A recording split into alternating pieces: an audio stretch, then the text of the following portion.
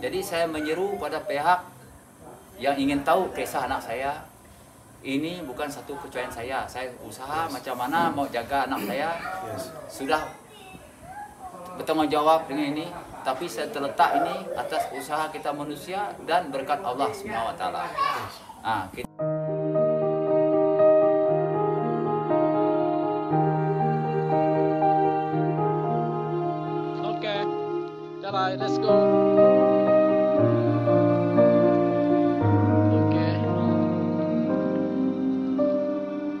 Okey, uh, hari ini kita di kampung Rapak Baru. Kita nak uh, berjumpa sendiri dengan bapa yang kehilangan anak berusia 3 tahun 11 bulan. Jadi sekarang ni ini signboard. Okey. Okey, uh, uh, sekarang saya berada di uh, rumah uh, Rapak Baru.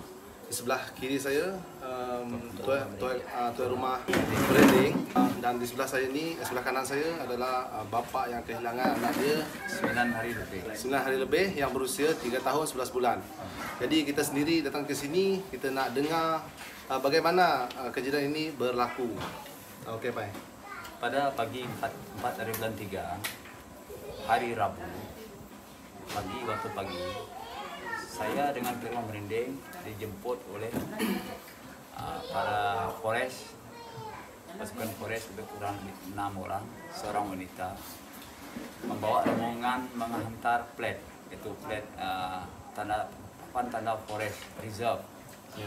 bagi penyelidikan hutan di kampung saya sini di atas gunung itu gunung Kelingkang. Yaitu di- dikatakan orang Pulau Langgir semasa kami orang naik pagi itu tiba-tiba Land Cruiser tu lap lah. Kita dapat naik ke tempat lokasi yang lebih dekat untuk mengantar barang-barang keluar untuk memberi tempat tanam jadi kami naik paksa diangkut jadi diangkut itu. Saya pakai motosikal dan anak saya di depan itu yaitu Patrick Igih itu yang yang yang hilang itu di depan motosikal saya naik ke kawasan jalan ke gunung itu jadi forest jalan kaki lah. Jadi itu kampung tuh pun ikut. Pakai motosikal juga ke motosikal dia. Dua buah motosikal naik. Jadi motosikal tuh parking di depan ini tak dapat naik ke sawah padi. Sama kampung saya orang sedang menuai sedang menuai padi. Jadi pagi itu kami naik anak saya pun ikut naik itu kita nampak dia dalam video tuh yang baju kuning itu. Hmm. seluar kuning itu nah, kasut dia naik tuh naik kasut itu. Dia cepat naik gunung itu tuh para forest tuh tar- tarik hati ambil video. Yes. itu video semasa dia naik itu. Dia naik. Datang di lokasi naik sana atas gunung sekali itu tempat tempat itu forest untuk pendidikan itu. Saya letak barang itu yang dia hantar first trip itu. Mau ambil tiang pos dengan signboard lagi yang tinggal kami dua itu kampung anak saya ikut juga turun. Sebelum dia turun saya salin baju dia baju dia di- ditambah lagi baju dengan jaket. Namanya dua lapis lah. ya dua lapis jaket dia. Jaket pakai jaket itu. Jaket seluar dia saya simpan seluar panjang warna hitam. Jadi tidak ada pakai seluar itu dalam sana double. Seluar kuning itu dalam tuh yang pendek tuh dalam sana. Dia turun masih pakai kasut dan turun datang dekat rumah sana saya kasihan dia dia sudah lapar sudah haus karena mah saya beri dia sebetulnya susu minum. Saya tanya dia anak mau dia tinggal sini sekejap? Bapak mau ambil tiang pos dengan signboard dengan kita punya datuk sebetulnya dia. Hmm. lagi orang kampung sedang menuai dapat nampak dia dari kawasan pondok tu. Dia orang perempuan-perempuan itu lebih kurang lima orang tu sedang menuai. Menuai padi. Saya beritahu dia orang tolong jaga anak saya sekejap saya mau ambil tiang pos itu semata kampung sekejap saja tidak lama. Paling-paling 20 minit pulang mansa. Ah, jadi kami tak pergi. Dia semada dia terus minum ke nenek tu. Semua tidak saya tidak tahu lah saya tidak nampak. Saya tinggalkan dia kan. Kasut dia saya buka. Saya buka kasut itu buat dia mau bulin saya buka kasut dia masih kasut, kasut di sini sekarang, sekarang saya simpan. Jaket dia dia cakap dia panas. Saya buka jaket itu. Tinggal baju kuning lagi itu masih. Baju kuning lagi. baju kuning masih dia pakai itu baju kuning itu dengan seluar panjang sekali masih dia pakai.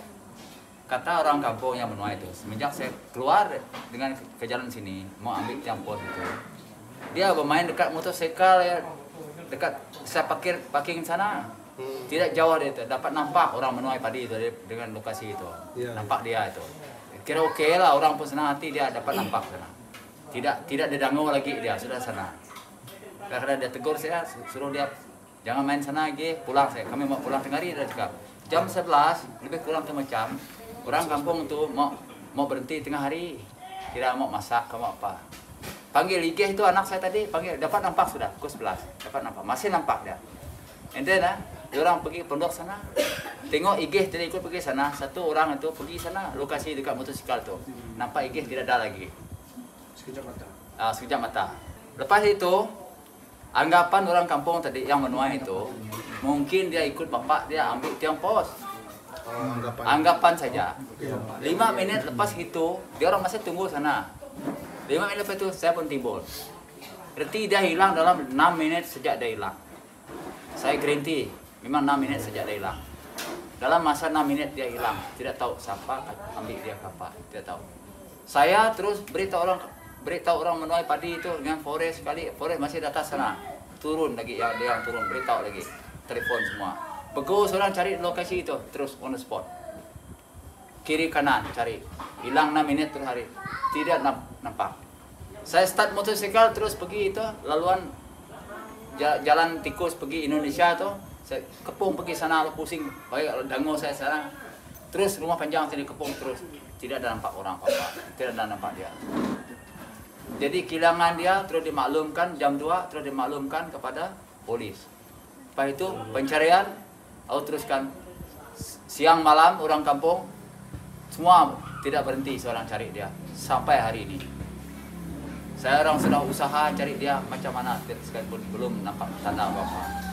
Dengan usaha menggunakan cara-cara kit- kita iban kah, Tradisional. cara tradisional, cara miring ke apa, semua sudah dicoba. Belum ada nampak sampai sekarang. Jadi saya menyeru pada pihak yang ingin tahu kisah anak saya, ini bukan satu kecuaian saya. Saya usaha macam mana mau jaga anak saya, Yes. sudah bertanggung jawab dengan ini tapi saya terletak ini atas usaha kita manusia dan berkat Allah wa taala. Ah, kita sentuh ini pasal apa? Mungkin berlaku kes ini bukan cara sengaja, mungkin itu ada ada ada misbah hikmah di sebaliknya. Dan saya doakan anak saya ini hidup-hidup datang ke sini. Dan siapa yang mengganggu dia, menculik dia, apa, anta baliklah kepada pangkuan saya. Kalau manusia yang menculik. Kalau orang awam kah, ada nampak dia di mana-mana kerana dia ada tersebar luas pada Facebook kah, apa, surat khabar kah, dan newspaper kah, dan TV seluruh Malaysia. Saya memohon bantuan orang awam yang melihat dia di mana-mana. Hantarlah dia ke balai polis berdekatan atau memaklum kepada kami di sini. Seorang ini dengan hati yang terbuka menerima dia kembali dengan hati yang gembira, cukup gembira. Dan minta tidak sama semua pihak. Hantar balik anak saya hidup-hidup, itu saja. Karena dia, saya percaya, yakin dia masih hidup sampai sekarang. Itu saja. Terima kasih. Um, jadi uh, video ini dibuat bertujuan untuk uh, kita bertanya sekali terus kepada Ben Muhammad Taufik. ah kepada Bapak Patrick Ige. Patrick Ige. Ya. Uh, tolonglah, tolong orang yang tak tahu cerita jangan fitnah, jangan janganlah kasihan. Bapak mana nak kehilangan anak dia. Dan satu lagi pada yang dah menonton video ini uh, tolong sekali doa uh, atas keselamatan uh, Patrick Ige. Ya. Okey, sekian terima kasih. Sekarang ini kami on the way ke lokasi yang terakhir kali uh, Patrick Ige hilang